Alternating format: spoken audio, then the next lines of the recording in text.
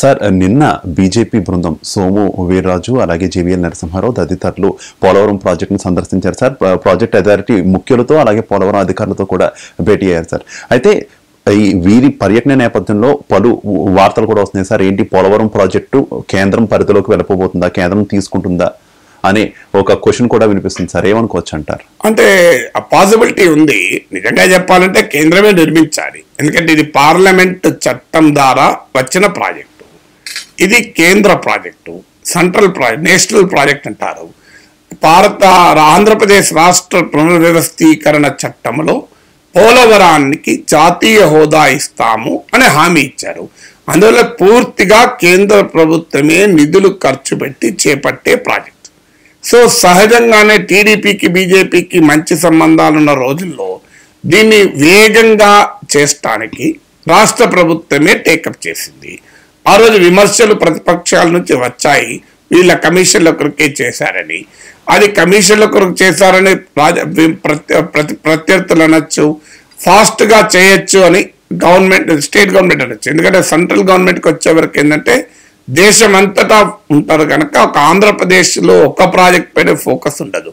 అన్నట్లే గత ప్రభుత్వం తెలుగుదేశం ప్రభుత్వ హయాంలో కూడా పోలవరం వర్క్ చాలా ఫాస్ట్గా జరిగిందని కేంద్ర మంత్రి నితిన్ గడ్కరీ సర్టిఫికెట్ ఇస్తూ వచ్చారు. కేంద్ర ప్రభుత్వం కూడా జరిగిందనే సర్టిఫికెట్ ఇచ్చారు. ఇప్పుడు దాదాపు సెవెంటీ ఎయిట్ పర్సెంట్ అయింది అని అంటున్నారు. సో అంతకుముందు అయితే అసలు జూన్లోనే నీళ్ళు ఇస్తారన్నారు. ఇక ఒకటి మాత్రం నిజం పర్సంటేజ్లో అటు ఇటు ఉన్న ప్రాజెక్టు నిర్మాణం మాత్రం వేగంగా జరిగింది. అనుమానం లేదు.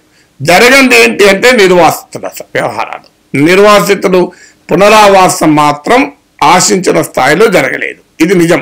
ప్రాజెక్టు పైన చూపిన శ్రద్ధ నిర్వాసితుల పునరావాసంపై చూపలేదు. అందువల్ల మేము ప్రాజెక్ట్ చాలా వేగంగా కట్టాం. ఎందుకు కట్టారు అంటే ఎలక్షన్ లోపల ఆ ప్రాజెక్ట్ పూర్తి చేసి దాని ఫలితాలు రైతులకు తత్ఫలితంగా వచ్చే రాజకీయ ఫలితాలు పొందాలి అని ఒక ప్రయత్నం చేశారు. కారణాలు ఏదైనా మంచి ఒక వేగంగా అయితే ప్రాజెక్ట్ అయింది. ఇప్పుడు ఇక మిగిలిన కొద్ది పార్ట్ ఉంది పునరావాసం ఉంది.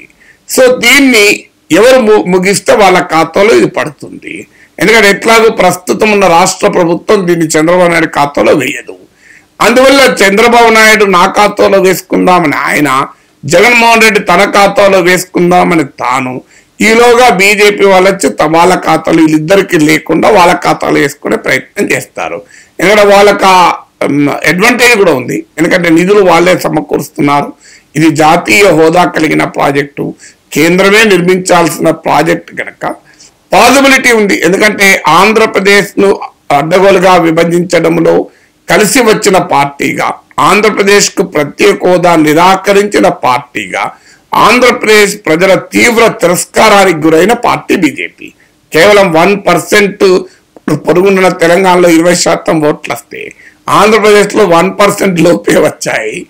అందువల్ల ఇప్పుడు ఆ ఆ పాప నుంచి బయటపడటానికి ప్రక్షాళనగా పాప ప్రక్షాళనగా పోలవరాన్ని ఆంధ్రప్రదేశ్ ప్రజలకు చూపెట్టచ్చు.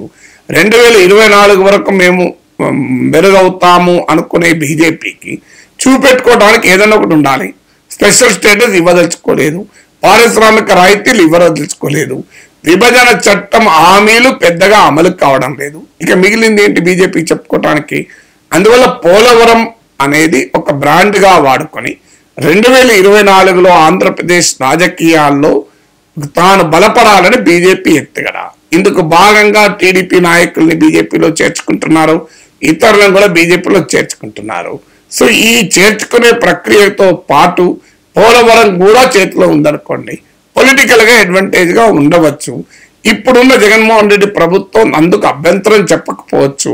కేంద్రంతో ఉన్న సంబంధాలు ముఖ్యంగా విజయసాయి రెడ్డి గారి భాషలో చెప్పాలంటే అమిత్ షా మోడీలతో జగన్కున్న సంబంధాల రీత్యా వాళ్ళకి కావాలంటే వీళ్ళు వద్దనే అవకాశాలు తక్కువ ఉన్నాయి అందుకొరకు ఇది ఒక అడ్వాంటేజ్గా తీసుకుని పోలవరాన్ని పొలిటికల్గా తనకు వరంగా మార్చుకోవడానికి పోలవరాన్ని పొలిటికల్ వరంగా మార్చుకునే ప్రయత్నం బీజేపీ చేయొచ్చు. దానికి విభజన చట్టం అవకాశాన్ని ఇస్తుంది.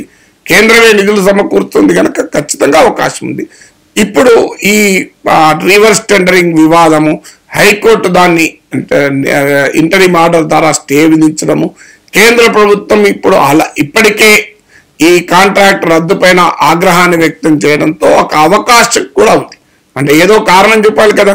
రాష్ట్రానికి మీరే కట్టుకోండి అని చెప్పిన దాన్ని మేమే కడతామని కేంద్రం అనాలి అంటే ఒక కారణం ఉండాలి. ఆ కారణాన్ని జగన్ ప్రభుత్వం తీసుకున్న వివాదాస్పద నిర్ణయం వల్ల దొరికింది. దొరికింది కనుకనే బీజేపీ బృందాలు పోలవరానికి వస్తున్నాయి. పోలవరాన్ని కేంద్రానికే మార్చ మార్చిన ఆశ్చర్యపడాల్సిందే లేదు.